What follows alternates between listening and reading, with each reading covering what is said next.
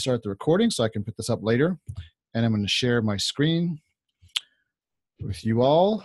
It's going to take me a second to get this up. All right. Here we go. So the topic of the day is how to take advantage of the greatest real estate investment opportunity in a decade. Now, this is going to be a multi-part series. Today is the the opportunity around the corner. I'm going to talk about why where we are now and where I think we're going and why I see a big opportunity coming up right around the corner. Part 2 is going to be tomorrow, which is how you're going to find deals once this great opportunity presents itself. And part 3 is going to be about getting the money. It's a topic I'm sure everybody wants to learn more about. So always all the recordings are going to be available in the multifamily investment community group on facebook if you haven't joined please join us on facebook all you have to do is search for that group and uh, ask to be let in and promise not to spam and you'll be in. We're going to do some q&a at the end of this session uh, here live on zoom. If you're in the zoom uh, webinar you can do q&a with me live. Put your questions into the chat box. I can't see any questions right now because of the way the, sh- the screen share works but put your questions into the question and answer box and i will answer them at the end of the presentation. If you're in facebook you won't be able to ask questions live during the show but you can put them into the Facebook chat and I will answer them afterwards. Okay? Promise.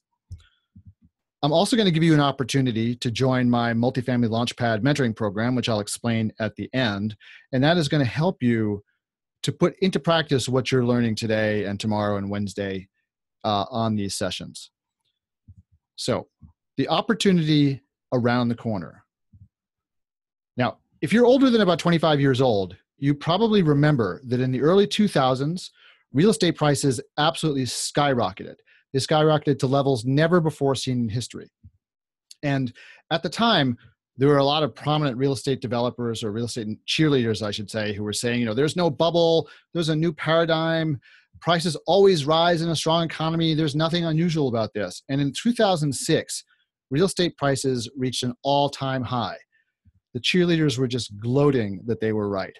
I told you so. Then in 2007, you remember what happened, right?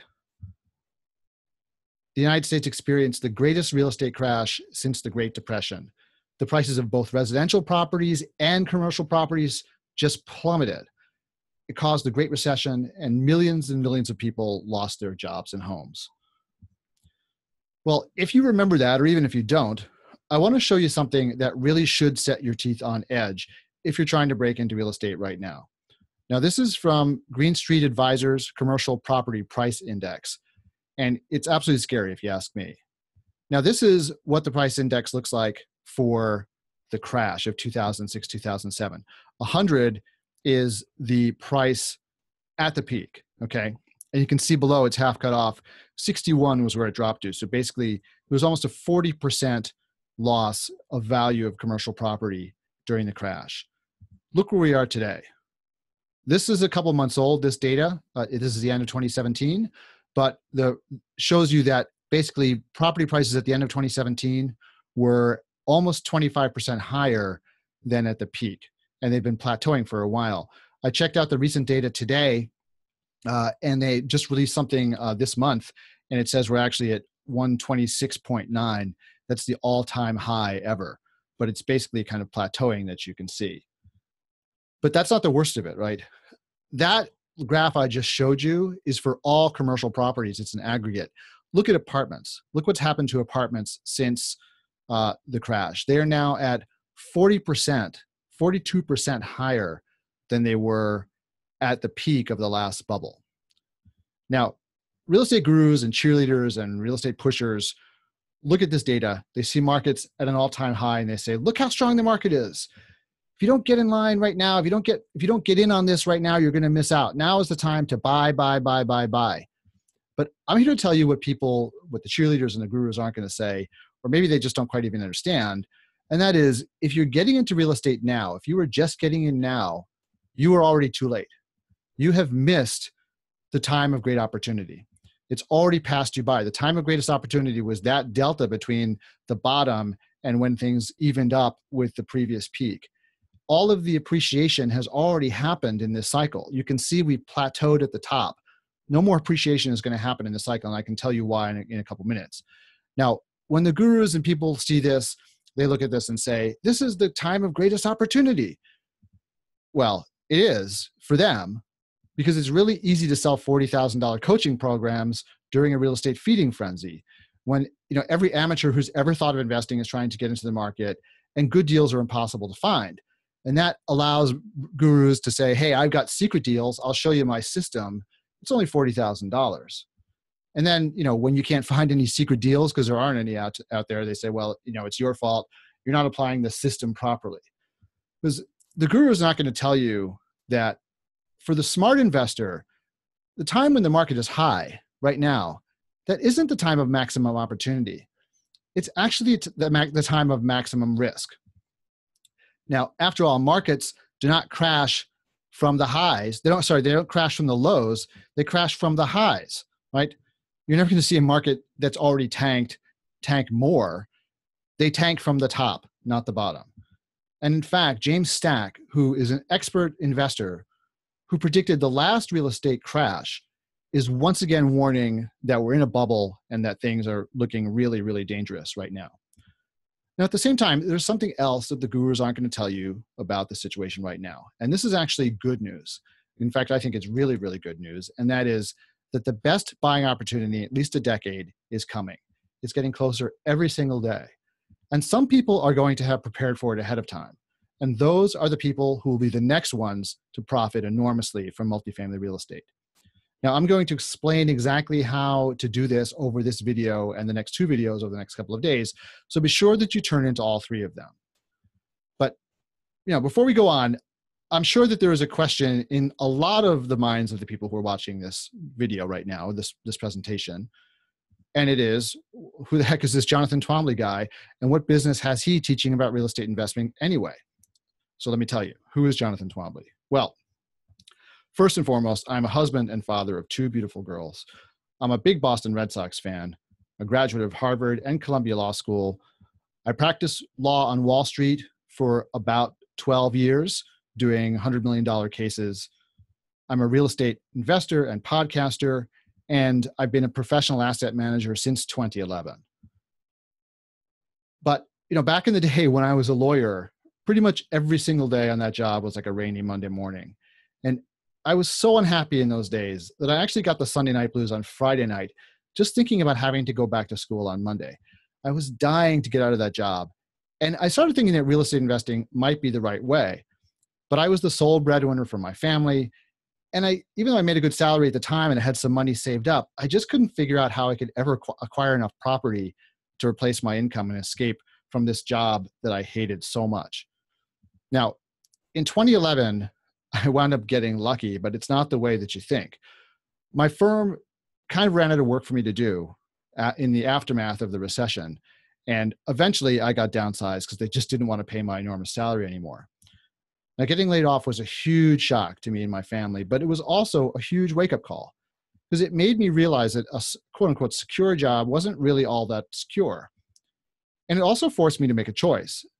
Either I was going to do something about my dream of becoming a full time real estate investor, or I was just going to have to shut up about it forever. And right around that time, I got very lucky. I met somebody who taught me a methodology for using other people's money to buy large apartment buildings and to make my living as an asset manager as basically as a full-time investor. Now, I struggled for a few years for sure. But in 2014, I finally put all the pieces together and I got a system that started working well for me. And within 11 months, I acquired more than 400 apartments, and those apartments are now worth about $25 million. Now, you fast forward today, I've been interviewed about my success story on just about every real estate podcast there is. So a lot of you people already know who I am. And I spend my time asset managing my portfolio, following the markets, and writing and podcasting about real estate. I also help private clients who want to replicate my success to learn the skills and methodologies of asset management so they can become free and do this for a living too.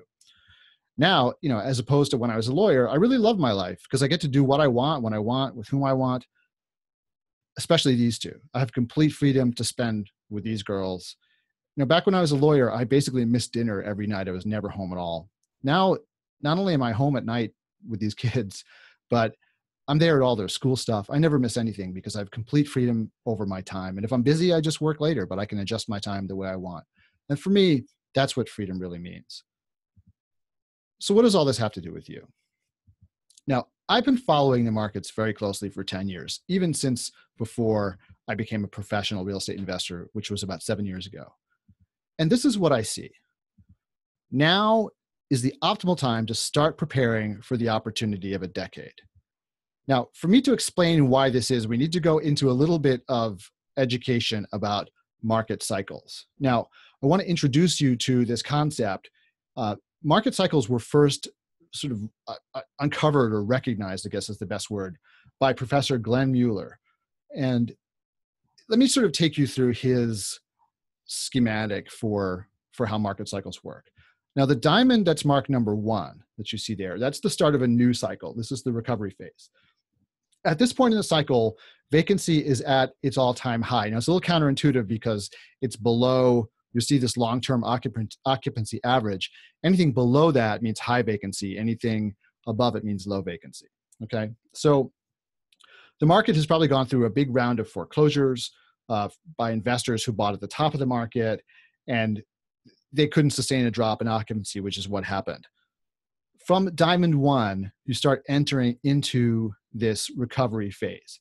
And what happens during that phase is that new construction from the previous cycle has finally stopped and as you're getting population growth, you're starting to slowly chip away at that high vacancy rate. And you're getting closer and closer to that long term occupancy average. During this phase, banks are still a bit too skittish to lend, but what you see is the smart money start moving in uh, as it's starting to, to find some deals and starting to get a little more confident again uh, about getting into the markets again. Now, Diamond 6 represents the point where the market reaches that equilibrium point of occupancy or the historical occupancy point, I should say. So this is where you've chipped away through population growth and maybe an improving economy at that you know high occupancy problem and you're back down to the average long term. Once you cross that line, you're moving into the expansion expansion phase and that's when occupancy really starts to decline and this starts giving lenders more confidence about building and what they do is they start lending a lot of money now to developers. Investors also start flooding the markets. And what you start seeing is you climb up, you know, seven, eight, nine, 10, you start to see some of the early investors cashing out. They've already made quite a bit of appreciation profit on their deals. They're cashing out. And what that does is actually pulls more new investors into the market because they see the early entrants selling. They want to get in on it. Their, their greed starts playing on them their fear of missing out starts playing on them and they also don't and they assume that the market is just going to keep on going up and up and up. They don't understand cycles. At some point you hit point 11 where uh, the occupancy the, the amount of new product that's being built is equal to the amount of new renters entering the market uh, and you wind up at this equilibrium stage where basically you're absorbing everything uh, demand is not building anymore but you're not oversupplying the market yet. You're at this perfect equilibrium point. Then you enter into the phase three, which is hyper supply. And that what happens there is all of that lending that started happening after point six, all of the, that new product that started coming online, well, there's a long lag time for that to come onto the market. And that exceeds point 11. There's still supply coming onto the market.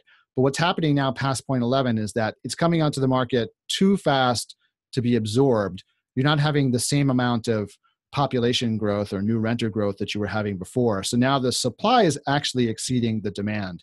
And what you get at this point is uh, you're still having rent growth, but rent growth is decelerating. So the rate of rent, rent growth is slowing down. What happens in this point of the market, according to Dr. Mueller, is that a lot of people miss it.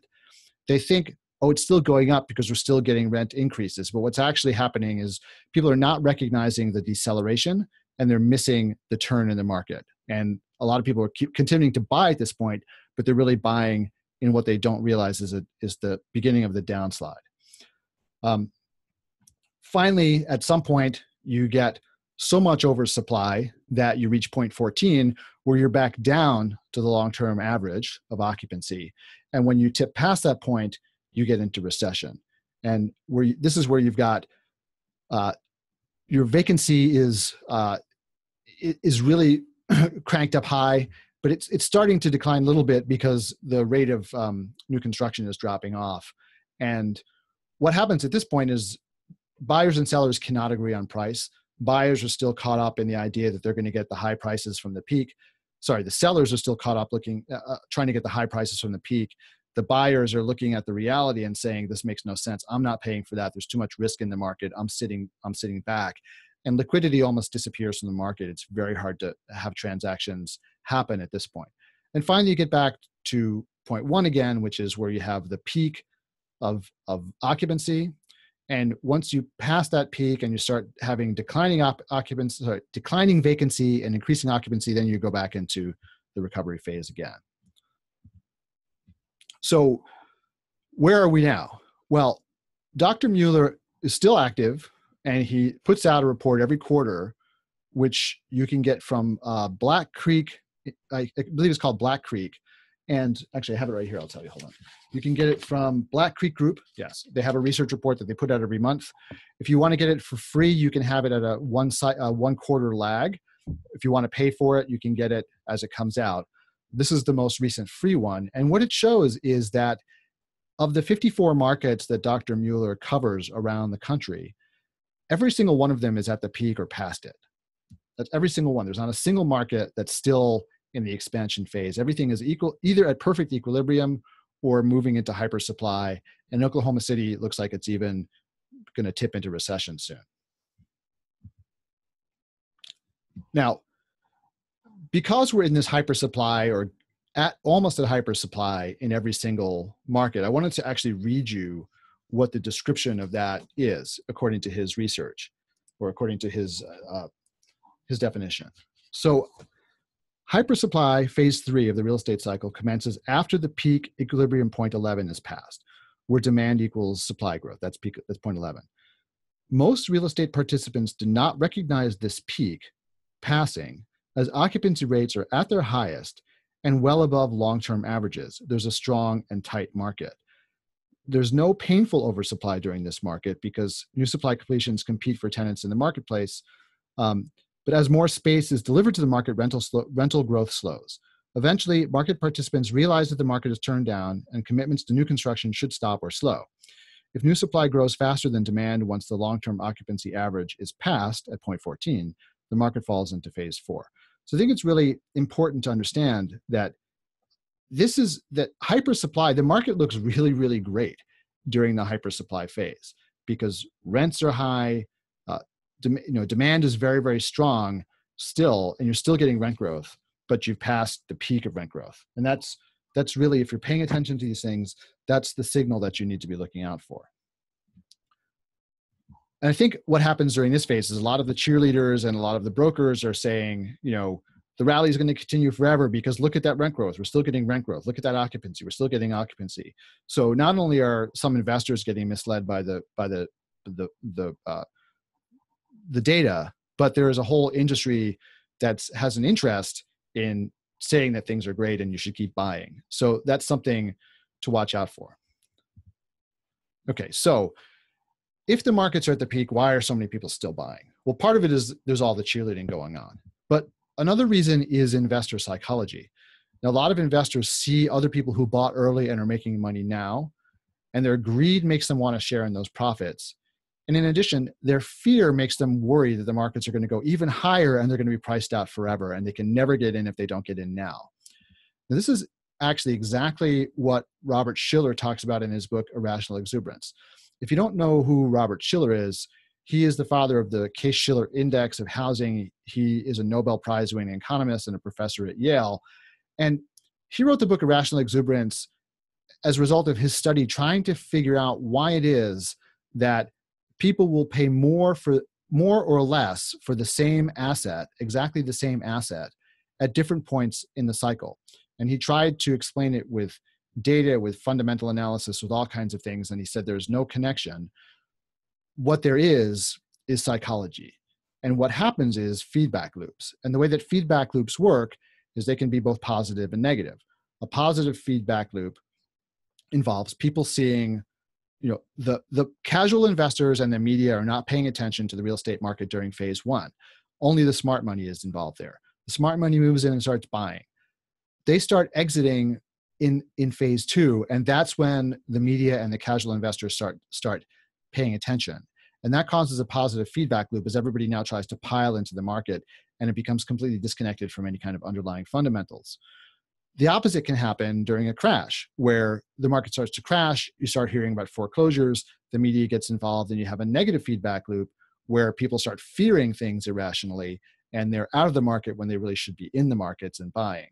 Um, so that that's kind of how the market psychology works. Now, while this is going on, though, while people are in this really high state of exuberance about the, the, the positive nature of the market, they're making decisions very often based on emotion.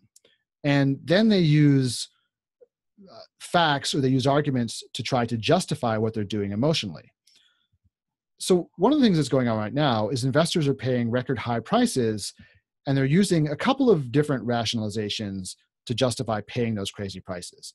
Now, uh, what I'm not talking about here, and I want to make a caveat, I'm not talking about certain kinds of investors that need to be placing money. So, for instance, if you have a 1031 exchange, you may need to be buying, you may have a rational reason to be buying because you now have this huge tax obligation that you're trying to avoid. So, you need to find property to buy. Or perhaps you are some kind of institutional investor that has cash gener- being generated by a business every single month and they need to place it. In some, in some cases, they actually may have a legal obligation for instance, you know, an insurance company to to place money uh, in in safe investments. So aside from those kinds of uh, buyers, I'm talking about everybody else.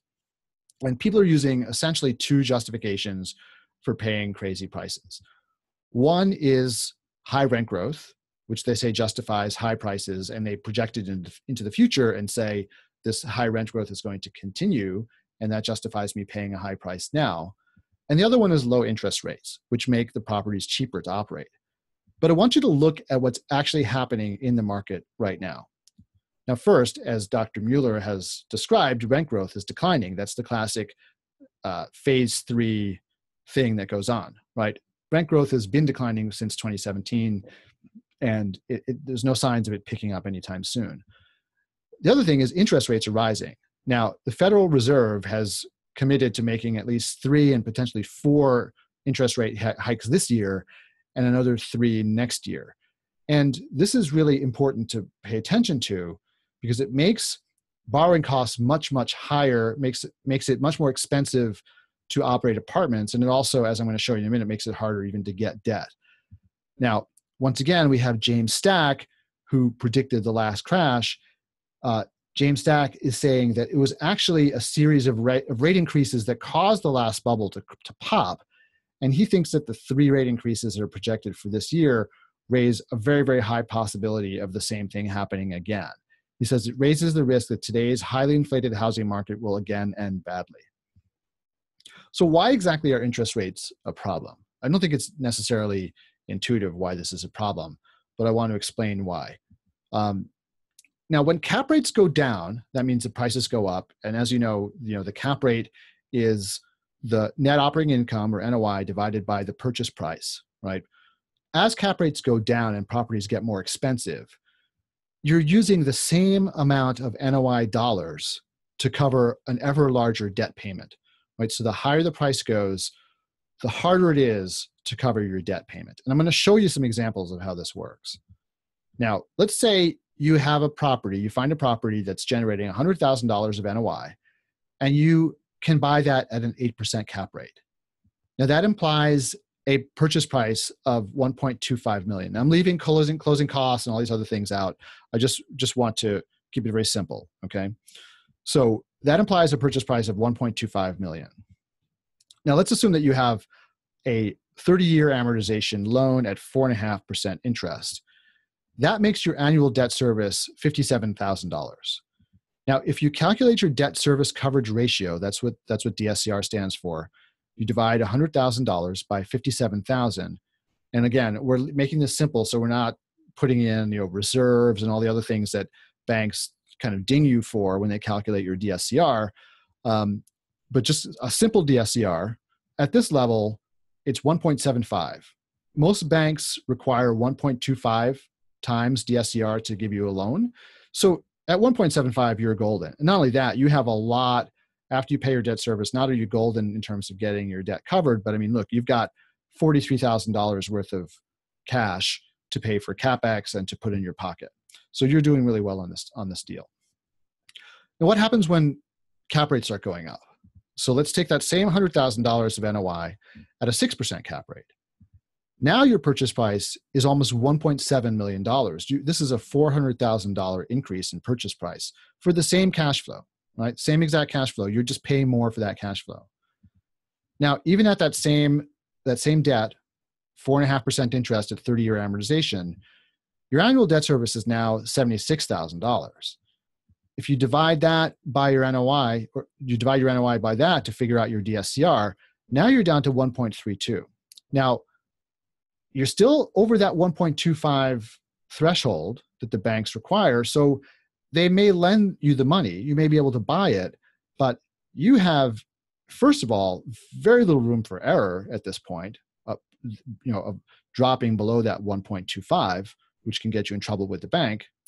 Um, and this is going to be hard for you to make money. You've only got $24,000 now left over for you to pay for any capex that comes up um, and uh, for you to put money in your pocket. But what happens if interest rates go up?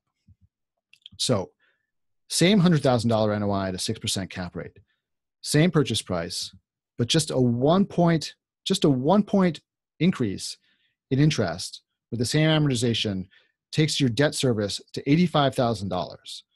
When you calculate your DSCR for that, you're now at 1.17. You are not going to get a loan for this property without putting in more equity. You're not going to be able to do this at 75% LTV like this example proposes, right? Um,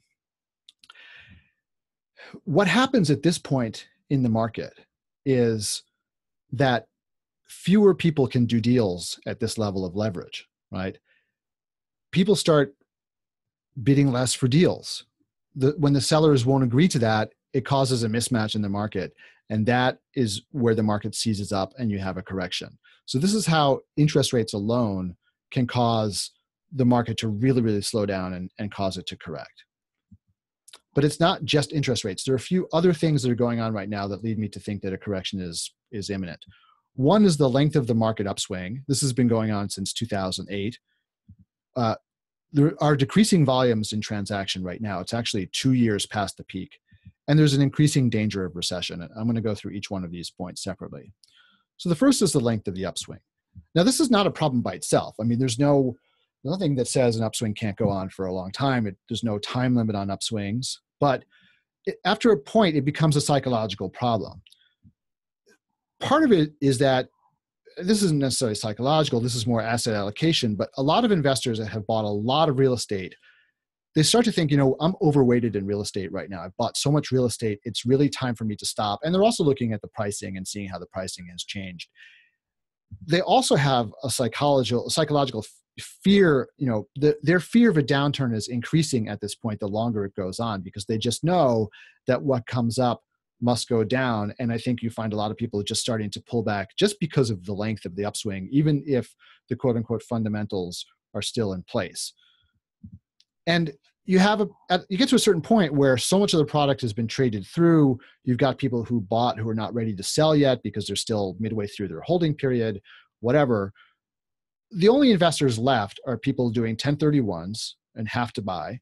The must buy investors we talked about before who have cash they they have to place and wild-eyed newbies who are caught up in the enthusiasm of buying property and just are you know in that mindset of i just have to get a deal i just have to get a deal and then my life will be better.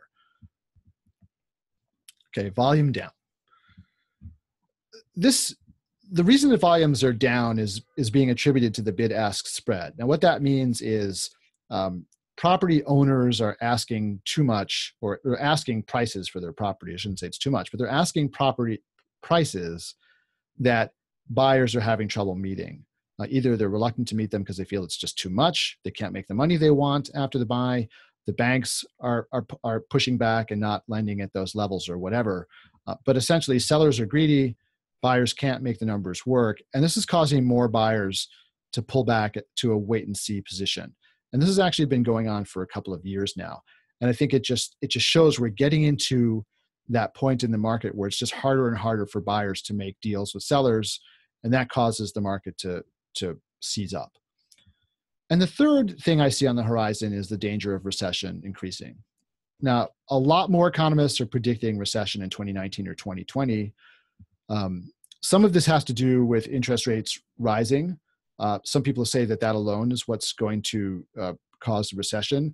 But uh, whatever reason there is, the recession would affect the demand side of the supply demand equation. So when you think back to uh, quadrants three and four, where supply and demand are now out of balance, where you've got more supply than there is demand, if there's a recession, you don't necessarily have to have more supply for things to go out of balance because the demand side of the equation is going to drop off.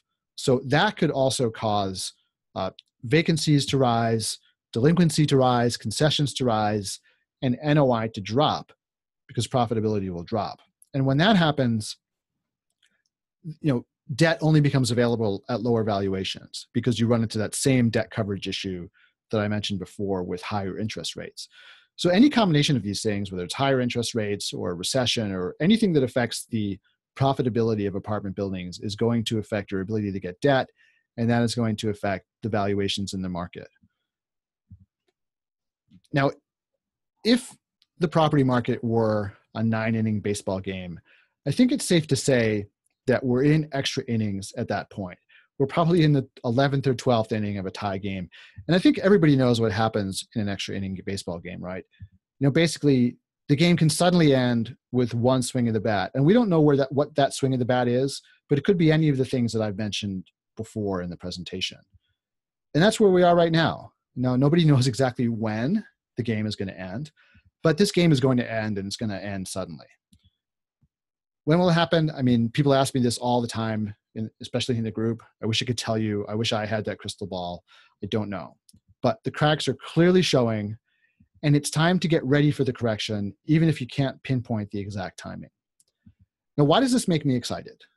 Well, it makes me excited because of two guys named Warren Buffett and Sir John Templeton, who are legendary investors who I respect a lot. And I come back to what I'm about to show you a lot when I'm feeling a little bit down about why I can't find property that meets my expectations or, you know, whether I should even be looking at all. Warren Buffett famously said, I'll tell you how to become rich. Close the doors. Be fearful when others are greedy. Be greedy when others are fearful. And Sir John Templeton said something very similar. He said, the time of maximum pessimism, that's you know when everybody's saying gloom and doom, is the best time to buy. And the time of maximum optimism is the best time to sell. Now, for many years now, we've been living with in the greed portion of this par- this paradigm, right? Um, prices have risen dramatically, and profitability on new purchases is very low, and risk is also very, very high. But we're about to be getting some fear, and this is good because when the market drops, the people who bought at the top, they may lose some of their investments, to be honest with you. They may lose thousands or even millions of dollars as these, you know, if they get an uptick at of of vacancy and they've cut the line close and they've bought at a too high a valuation, you know, they've got that big debt service to pay and they just can't make it because they lost a point or two of, of occupancy that may push them over the line. When the typical investor sees this happening, that investor is going to become very, very fearful.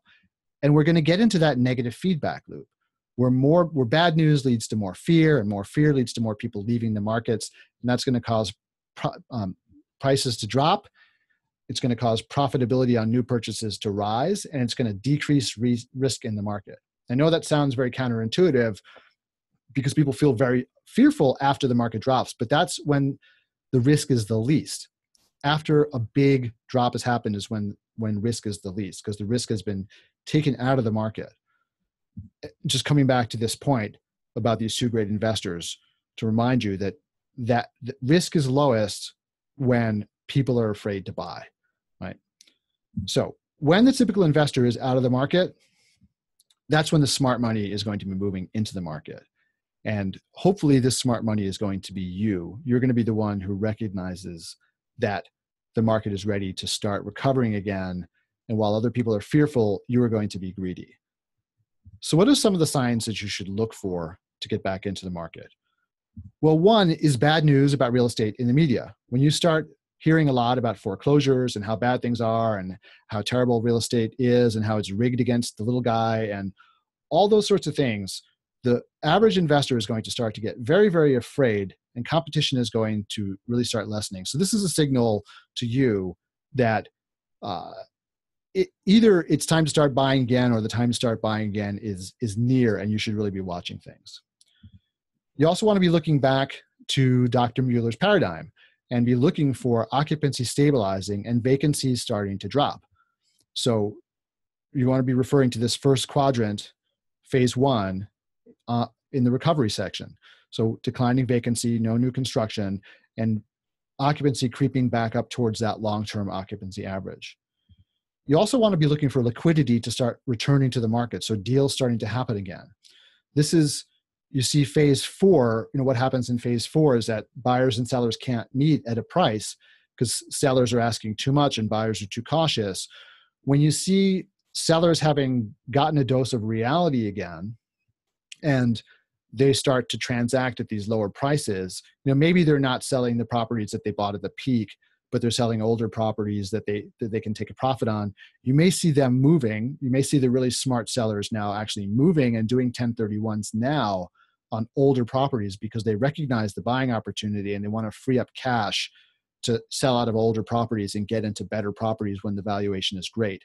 When you see that happening, then you know the smart money is moving and you should be moving too. So you just have to remember when fear rules and the buying opportunity is here. Well, so okay, I'm sorry, I, I sort of messed up the intro to this, but uh, what I want to say is that there is at this point in the market where there is a great amount of fear in the market. This affects everybody. It doesn't just affect it, casual investors. I mean, it can affect institutional investors. It can affect brokers. It can affect lenders. It really can affect the entire market. So even if you're not feeling fearful and you're feeling that this is a great opportunity, you have to recognize that other people in the market are going to be feeling fear. And this leads to a giant problem. And that is that when fear rules and the buying opportunity is here, then brokers, investors, and lenders may be reluctant to deal with you, especially if you're new, right? Especially if you're new. You think it's tough now in a hot market as a new investor. When you get into this, this you know now brokers don't want to deal with you because they have better ways to spend their time, and they're they're inundated with new investors who can't close deals, so they're they're you know putting you off with you know requests for proof of funds and stuff like that. That's not going to be your problem uh, when the market is great for an investor, your, your problem then is going to be that they're just going to be dealing with fear, right? So, the subject of how you solve this problem, these are going to be the subjects of my next two videos, okay? How you are going to take advantage of the time that we have now to get ready for this great opportunity to come okay that so be sure to tune into those next two videos because we're going to be talking about how to get brokers and investors to be you know part of your team part of your platform now while interest is high so that when the real opportunity comes you're ready to move and they're ready to move with you. Now in a moment we're going to do a little bit of q&a so start those questions if you haven't already. I can't unfortunately like i said i can't see what's going on in the chat box because um, because of the screen share but put those questions in now. Um, and while you're doing that i just want to give you the opportunity right now I want to tell you a little bit about my multifamily launchpad program. Now, this is my exclusive mentorship program for people who really are committed to moving forward with this career and really learning how to do things right. Now, the multifamily launchpad program is designed to give you all of the skills that you need to take advantage of the great opportunity to come that we were just talking about the confidence to deal with brokers investors lenders etc the accountability to ensure that you're taking the steps you need to ensure success, and my personal involvement and mentoring every step of the way. We're going to cover everything you need to know from identifying the best markets to invest in, professional financial underwriting, proper due diligence to make sure you don't get stuck with a lemon, winning bids and negotiating contracts, qualifying for debt so that you can actually close the deal, syndicating the equity so you can raise enough equity to close if you don't have enough money to do it yourself, finding and overseeing the best property managers in the business, scaling a real estate business so you can replace your income, and everything else you need to launch and grow your real estate investment business. And you're going to receive all kinds of stuff with this program. It's a self paced video program with eight weeks of live group video calls with me, three personal sessions with me, a specially designed financial and analysis template so you can do very sophisticated underwriting, checklists for every single stage of the process so you never miss anything important at all, numerous subject matter expert videos from experts in the field, personal follow up with me on your deals, a private Facebook group, the accountability to finally start moving forward, increased self confidence from having a mentor, which is very, very important, as you know. Now, just some details about the program. It starts on August 1st at 7 p.m. Eastern. There is a full one on one mentoring option that's available at a higher charge, and there's also a kind of content and calls only option that's also available if the main program doesn't meet your budget. For all of these programs, there's an application and interview process that's required for the program. So you have to act fast. The interviews are going to end on Friday. Everything's you have until Sunday to make up your mind, but you only have till Friday to interview with me. Time and spots are very limited, so please don't miss out on your chance to join this. Um, now, of course, why now? This is a big question. Why would you do this now? When you all, you all know that my view on the market is it is not the time to buy. Well, as I said, I really, really, truly believe that the greatest opportunity in a decade is right around the corner. And if you're not prepared for it, it's going to be too late. I personally am spending my time getting my ducks in a row so that I have dry powder available to me when the buying opportunity is right. I'm actually about to embark on a big campaign with my investors and to get new investors to bring them on board so that when the time is right, we can really move and make a big dent in this thing because that's when the money is going to be made. Now is the time to be learning the skills and making the relationships and getting your team together that you need to move fast. And i feel very strongly about this because i really got want you guys to have success. I mean I, i'm tired personally of all of the rah rah stuff out there about you have to buy a deal now and and i see people making dangerous and bad decisions and it kind of pains me i want you guys to make better investment decisions i want you to be ready for this great opportunity that's coming up and now is the time to do it you know not once you recognize that a recovery has started, it's going to be too late. Those brokers aren't going to pay attention to you then. You need to be cultivating them well in advance. You need to be cultivating the money sources well in advance. You need to be explaining to investors why it's a great opportunity because many of them are going to be in fear too. So if you wait till the recovery be- begins, it's going to be too late. The time to act is really right now. So, how do you join?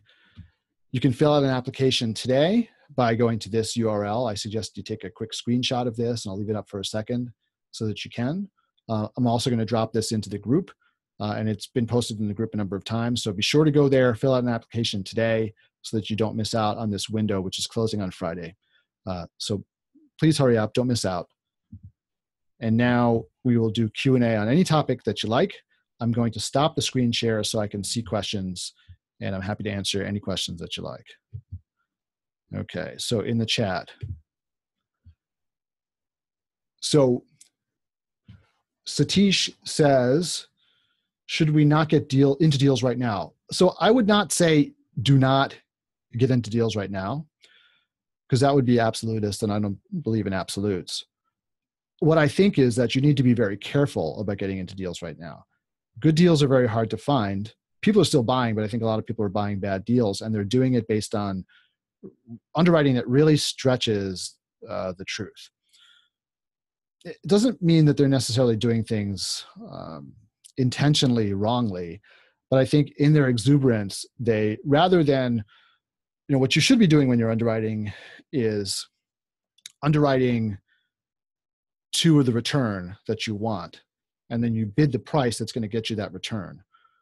What's happening now is that a lot of people are figuring out what the price is that they need to buy right that they need to bid to get they're talking to the brokers finding out what the whisper price is they're bidding that price and then they're adjusting their underwriting to, to get to the return that they need right? And and that's that's very dangerous. So don't do that also if you are buying a deal now you really need to stress test it and assume that we're going to have a recession in the next couple of years and really make sure that you can withstand you know a 10% vacancy for a year uh, that you're not going to go into foreclosure if that happens right? Or and you can still you know make uh, make your debt service obviously but also you want to be adequately reserved. You want to make sure you've got a big reserve fund on hand so that if you can't pay for capital items that come up out of cash flow you have the money there because otherwise you know you're going to be making a capital call on your investors or or doing it yourself. This is really kind of dangerous. And and you know the irony there too is if you have a big reserve fund that you've reserved ahead of time that means more equity into the deal the deal. It means lower returns. It means the temptation to push your underwriting even more is uh is there you know it's even stronger. So a lot of factors can come into play that that cause people to loosen their underwriting I, I also want to have a. Um, I also want to have a uh, like a word for the passive investors who are on the call. There are some things that you guys should be watching out for specifically if you're looking at passive deals right now.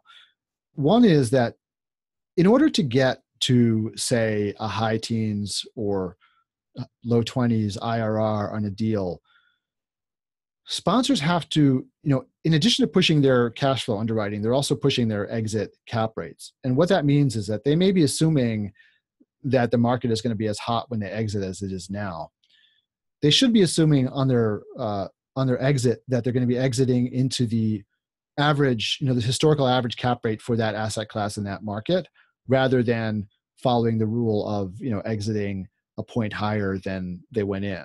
That's kind of a classic underwriting uh, uh, uh, rule of thumb, and there's nothing wrong with it, but it's meant for when you're bidding on a deal in a normal market. If you're bidding on a deal in an extremely hot market like today, and say you're buying at a five cap, the idea that you're going to exit in five years at a six cap, I think is a really dubious proposition. So you should be looking at what the exit cap rates are. You should be looking at the ratios. You know, if you're looking at like a 1970s product, uh, a very very good expense ratio. So the ratio of expenses to revenues is a very good one is 45% right? Um, i've seen people underwriting deals at like 35% on on deals that um, you know 1970s deals 100 unit deals. I mean it's not it's just not going to happen. So you need to be careful about those things when you're when you're looking at deals. Um, it's very very important. So just be cautious. Cautious is the words that caution is the words of the wise these days Okay, so Benjamin says, I'm about to become a 1031 investor. I want to sell my single family house and roll the profits into a syndication. I've not yet listed the house. Given that we're on the verge of a correction, would you recommend that I not sell the single family house? I feel there may be some pullback with the value of single family, which is why I want to sell now. Yeah, I mean, I so I, you have to first of all check with a lawyer about whether you can roll into a syndication. Um, I, I'm not sure how that works, so check with somebody to make sure that you're actually able to do that. But in terms of selling the single family house, yeah, I mean, if you think the market is going to correct, then sell it. I mean, you can never time the market perfectly. And and what I and I hear so the market timing argument made a couple of ways. Like one is oftentimes it's made as like a, a comeback to people who say, well, the time to sell is now. They say, well, you can't sell the market as if that means you shouldn't, that you can't time the market as if that means you shouldn't sell you should sell when you are making enough profit that you're happy with the profit you're making. And if you think that the market is ripe for selling, right? So you want to sell into a hot market. You don't want to try to sell into a bad market. So if you think it's time to sell, then yeah, and maybe you miss a couple of points on the upside, but uh, you know, data. There has been a study on this, which I, I'll try to find, but it shows that selling too waiting too long is worse than selling too early. Right, so you miss more profit by waiting try, to try to wait until the market is perfectly timed and, and then sell than you do if you sell it a little bit short of the market. Um, so it's better to sell if you think it's time to sell. Okay, let's see. Ankit says, uh, would you recommend to sell Sacramento single family house and do a 1031 exchange into a different market? Um, so yes and no. Um, yes, yes, because you could get a better cap rate on the, um, you know, you could get a better cap rate in a different market. But you have to also recognize that there have been tons and tons and tons of investors flooding into smaller markets from places like New York and California. And what's often happened is that, you know, just pulling some numbers out of the air, let's say they're selling at a five cap in California or New York, and they're buying at an eight cap in some small Midwestern city. And they think, oh boy, that's great. I'm getting an eight cap. And what they don't realize is that that market should be trading at a 15 cap, right? The only reason it's trading at an eight is because all these people have flooded in from New York and San Francisco and what have you. So if you're going to do that, it's really important to understand what that local market is and don't just compare it to the market that you're in. Um, that's the same mistake, you know, that you hear people making when they move from, you know, they they move from New York City to some small town and then they go and you know pay an overinflated price for a house that in that market because what they don't realize is that you know that that house is just too expensive for the market.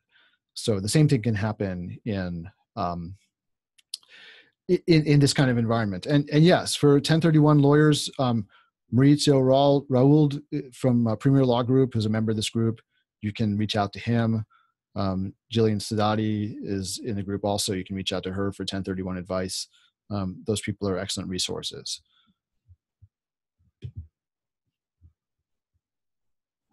So let's see. I just found a bunch of questions from Robert. He put them in a Q&A box. Thank you, Robert. Let's see. Uh, oh, here's, so let's see. Greg Bonds asks, is it smart to take a home equity loan now and hold the money till the crash to use at that time? I'm assuming that will be at higher interest rates at that time at well. Uh, yes. I mean, I, I don't, to be honest with you, I'm not big on taking on debt in general. Um, and I, you know, you have, you're taking on more risk when you're taking on more debt. So just because the interest rates are cheaper now doesn't necessarily mean that this is a good idea. Um, you don't know how long it's going to be until you can find a place to buy. I don't, you know, like I said, the market's been teetering at the top for a while. It's going to correct, but nobody can say exactly for sure when it is. So, um, I don't know. I'd be a little bit wary about doing that. Robert asks, will interest rates decline after the crash? My guess would be yes, because, you know, historically what you see the Fed doing is using monetary policy to try to get us out of a recession. So if we have another recession, they'll probably lower interest rates again in order to um, to jumpstart things. Um, but I wonder. I, I think there's going to be a fight at the Fed, to be honest with you, because I think after spending all this time with super low interest rates and um, you know finally getting interest rates back something like approaching normal again there's going to be some reluctance to immediately drop back down to the interest rates that we saw.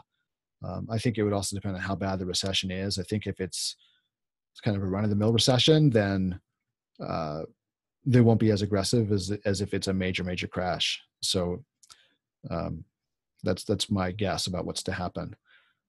Um, let's see. Um,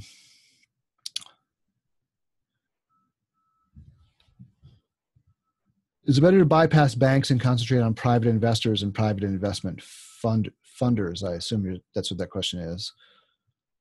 I guess it's up to you. I think the private people often charge more interest, so you know, bank rates can be better. It just really depends on the deal. Um, that seems to be all the questions we have right now. Anybody else want to drop drop questions into the chat? It's easier for me to see them there um, rather than the Q and A. I should have mentioned that before. Um, if you've got any more questions, just drop into the chat. Otherwise, I'll wrap this up and go over into the Facebook group and see what's going on over there. Um, any markets you're watching for after the drop, says Jason. Well, I'm going to still focus on the markets that I focus on now, and which is the Southeast. And the reason for that, it, it's not going to change with the recession um, or correction. It's that the fundamentals in terms of population growth are very strong there. I'm a little bit worried about what happens in a recession to the areas that are really heavily manufacturing dependent, or if we get into a trade war, you know, what happens to those markets um, if we start getting a, you know, tariffs hiked up because a lot of them, like say South Carolina, where I invest, is very export dependent. So that could be a problem. But you know, once we weather a recession and weather a trade war or whatever's coming, the the fundamentals are still really strong in terms of population growth. Um, so that would keep me interested in those markets, and I would still be looking in areas like that rather than the coastal, you know, the major coastal cities where the cap rates tend to be more compressed, just because there's more money to be made. But you just have to be going in at the right time. All right. Any other questions, Frank? Let's see. Well, thank you very much. I'm glad you guys enjoyed that presentation on market cycles and feel free to continue asking questions. Um, you should also go to the, uh, the Black Creek group and get that those updates from Professor Mueller. You can just read through the whole. It's very it's pretty simple to understand actually, um, but they've got a really good synopsis of how that works if you haven't seen it already. So I definitely recommend going and getting that. All right, if there's nothing else, then I'm going to head over to the Facebook group. Once again, if you're interested in the multifamily launchpad program, you have until Friday to get onto my calendar so we can talk and see if this is really right for you. Um, I'm sure you're really going to like it. The students who've been through the program before have had nothing but good things to say about it. You can see testimonials if you go to that URL um, for past students, see how they enjoyed the program. Um, but as always, I'll see you in the group and look forward to answering your questions there. So take care.